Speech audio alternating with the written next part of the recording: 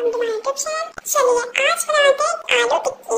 यहाँ मेरे लिए बॉयल आलू इसमें थोड़ा सा नमक ऐड कर देंगे, थोड़ी सी लाल मिर्च, थोड़ा सा धनिया पाउडर थोड़ा सा गरम मसाला चाट मसाला, और ये है हरा रोट और बस ये हमने आलू तो तैयार कर लिया, अब बनानी है हमें इसकी टिक्की। और देखिए, ये मैंने सारी टिक्की को ना इस तरीके से बना लिया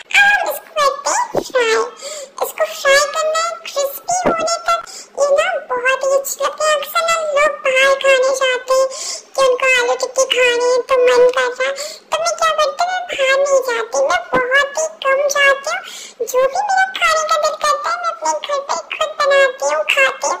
और इसलिए आज मैंने ये रेसिपी आप लोगों के साथ शेयर कर दी। और ये देखिए, हमारी आलू टिक्की बनके तैयार है, ये बहुत ही टेस्टी यम्मी एंड क्रंची बनी है। वीडियो अच्छी लगी, मुझे कमेंट करके ज़रूर बताइए। मेरे चैनल को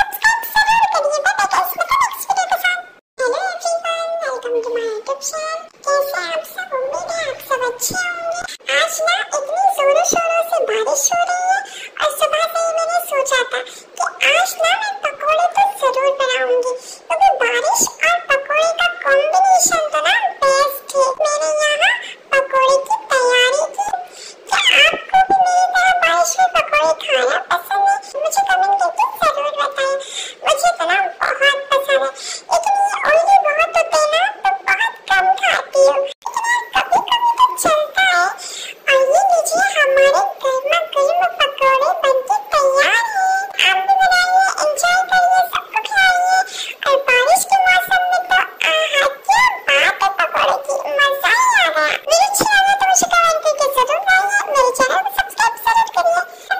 me